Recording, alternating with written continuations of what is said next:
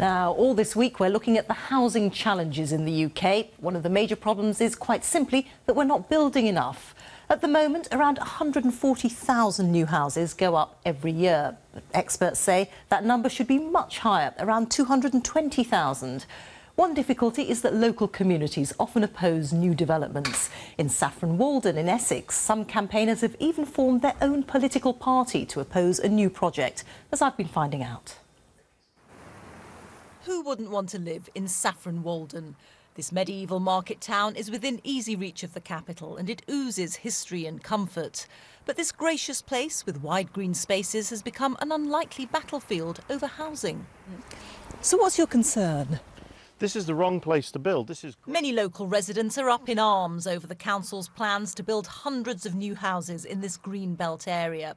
They've turned themselves into a political party and won seats on the local council. you know, building on this side forces all the traffic to come through the town. They say there aren't enough facilities to support the planned new houses, and their opposition has had some success. It's not about pulling up the drawbridge and saying no more. It's about making sure it works for the right pe- for the local people. We're not anti-housing. We're housing in the right place, and we're quite comfortable with our district taking its fair share of housing. It just needs to be properly planned out and done correctly.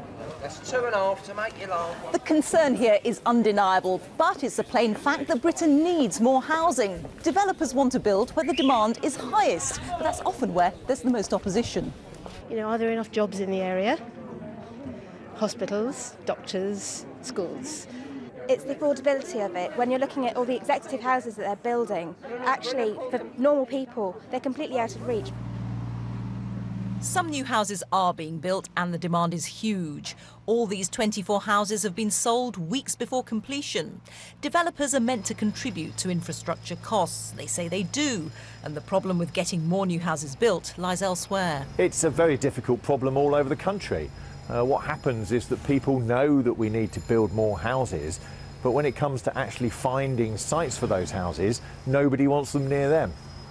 Preserving your environment is a strong instinct, but the local authority, which builds some housing, says there are nearly a thousand families waiting to be housed by the council, and opponents can't just turn a blind eye.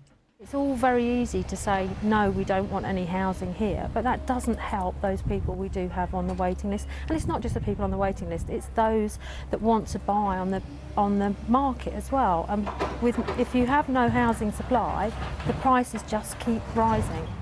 The story of this town could be told in countless others across the country. Most agree on the need for more housing. The problem remains quite where to put it. Reeta Chakrabarti, BBC News, Saffron Walden.